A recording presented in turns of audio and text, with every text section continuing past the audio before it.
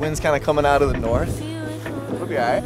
So what's gonna happen is, is I'm gonna come around this way, and I'm gonna do a right hand landing pattern, and come over the hanger, and then I'll send it straight down towards you. Let you know these conversations wait. What's up guys? My name's Kyle McKay. I'm here to demonstrate the patented technology with hoodlings.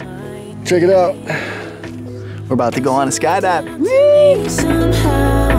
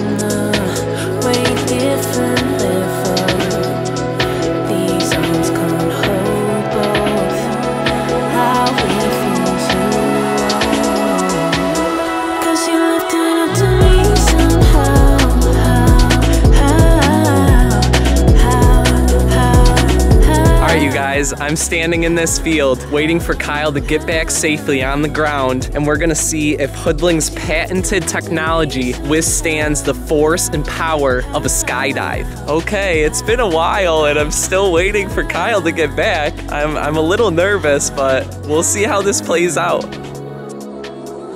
Oh, nice, dude.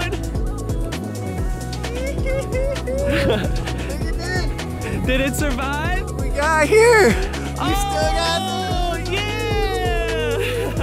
nice. Yeah, positive, man. Awesome. Oh yeah. Okay, everyone, I'm super excited to say that Hoodling's patented technology withstood the force of a skydive. Thanks for watching and stay tuned for more announcements.